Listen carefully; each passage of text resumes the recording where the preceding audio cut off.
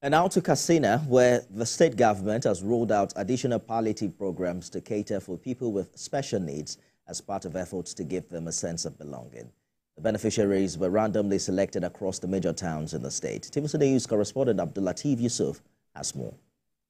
First place visited by Governor Dikko Radda to flag off the food distribution exercise to over 3,850 beneficiaries was the Office of the State Emergency Management Agency this intervention was facilitated by the Bank of Industry to complement the state government's effort to reduce the impact of hardship caused by necessary economic reforms. The goal of this program is to cushion the challenges faced by many people in our society have been excavated by economic hardship, health crisis and unforeseen disasters.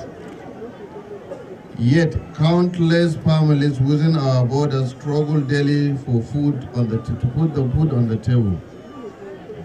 They are our neighbors, our friends, our fellow citizens.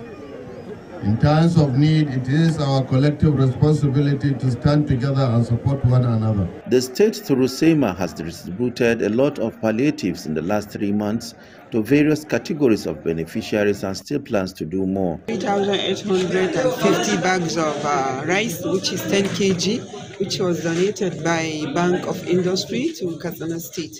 So we distributed it to uh, widows, less pre- and most vulnerable people, disabled, and IDPs. The government says this time around it is determined to provide much assistance to the people, especially those affected by insecurity and flooding.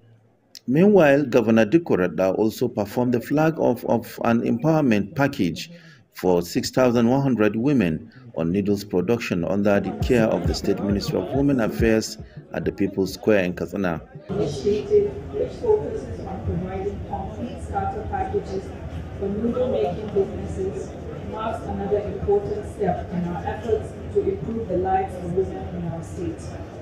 The noodle making business has been carefully selected for its viability and potential to provide sustainable income with the increasing demand for the fast and affordable food options, we are confident that this initiative will create employment opportunities. The state government says it is concerned about the welfare of its people and willing to roll out more impactful social welfare programs that will improve the well-being of the people. Abdulatif Yusuf, TVC News, Katsina. And as part of efforts to alleviate the suffering